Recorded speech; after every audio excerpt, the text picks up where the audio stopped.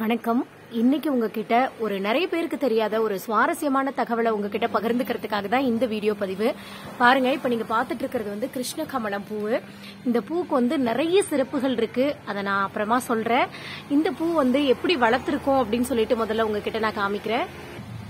இந்த பூ வந்து நாங்க ஒரு வாட்டர் பாட்டில் வாட்டர் கேன் இருக்கும் பாத்தீங்களா? பெருசா இருக்கும் பாருங்க. அந்த இருபது லிட்டர் வாட்டர் கேன் வந்து கட் பண்ணி அதுல தான் வந்து வச்சிருக்கோம். மண்ணு போட்டு.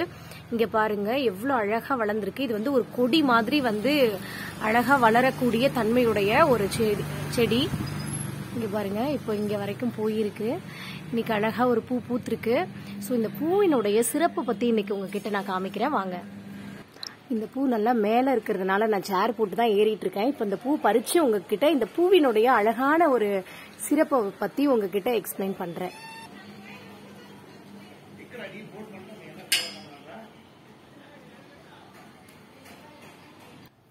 இப்போ வந்து நம்ம இந்த கிருஷ்ண கமலம் பூவை பறிச்சுட்டு வந்துட்டோம். ஸோ இந்த பூவில் அப்படி என்ன சிறப்பு இருக்குன்னு கேக்குறீங்களா? இந்த பூக்கு இன்னொரு பேரும் இருக்குங்க. பாண்டவர் கௌரவர் பூ அப்படின்னு சொல்லி கூட இதை சொல்லுவாங்க. இங்கிலீஷ்ல வந்து இதை வந்து பேஷன் ஃப்ளவர் அப்படின்னு சொல்லுவாங்க. ஸோ இது பாண்டவர் கௌரவர் பூ அப்படின்னு சொல்றமே அப்படி என்ன சிறப்புன்னு கேக்குறீங்களா? இந்த இங்க பாருங்க இங்க நீல கலர்ல இருக்கு பாத்தீங்களா? சுத்தி இருக்கக்கூடிய இந்த நீல கலர் இதழ்கள் வந்து இது எல்லாமே கௌரவர்கள் அப்படின்னு சொல்றாங்க. இதுல உள்ள இருக்கக்கூடிய அந்த கிரீன் கலரும் ஒயிட் மஞ்சள் கலரும் கலந்த மாதிரி இருக்கு பாருங்க. இது அஞ்சு உள்ள இருக்கக்கூடிய இந்த ஐந்து மகரந்த இதழ்களுமே வந்து கௌ பாண்டவர்கள் அப்படின்னு சொல்லி சொல்றாங்க. இதுல மேல இருக்கு பாத்தீங்களா இந்த மூணு. இந்த மூன்று இதழ்களுமே வந்து சிவன் விஷ்ணு பிரம்மா அப்படின்னு சொல்லிட்டு மூன்று கடவுளை குறிக்குதுன்னு சொல்றாங்க.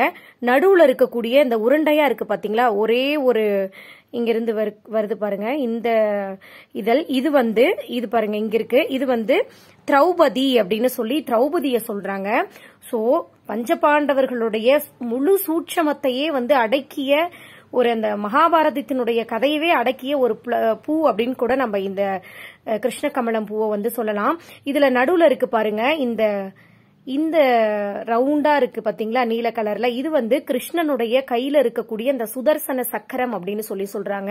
ஸோ இந்த பூ உங்களோட வீட்டில் இருக்கு அப்படின்னா இந்த பூவினுடைய சிறப்பை வந்து நல்லா தெரிஞ்சுக்கோங்க.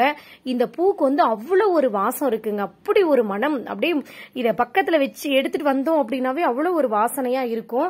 எங்க வீட்டில் வந்து ஒரு பூ பூத்தாவே அந்த பூவோட வாசனை அப்படி இருக்கும். ஸோ அந்த டே ஃபுல்லாவே நம்மளோட வீட்டில் அந்த வாசனை இருந்துகிட்டே இருக்கும். இதை நீங்க வந்து இந்த மாதிரி ஒரு இந்த மாதிரி ஒரு கண்ணாடி பவுல்ல கூட போட்டு வச்சுக்கலாம். இல்ல ஏதாவது பித்தளை பாத்திரத்துல தண்ணி நிரப்பி அதுல கூட நீங்க வந்து சாமி ரூம்ல வைக்கலாம்.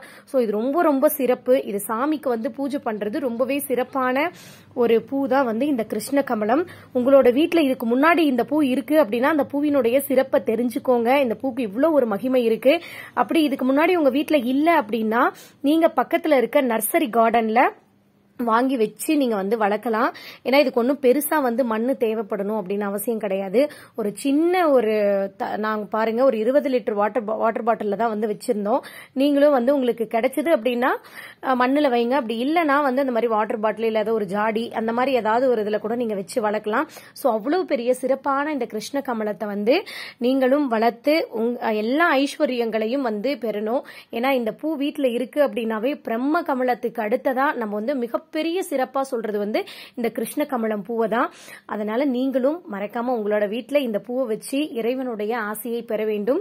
உங்களுக்கு இந்த வீடியோ பிடிச்சிருந்துச்சுன்னா மறக்காம சப்ஸ்கிரைப் பண்ணுங்க.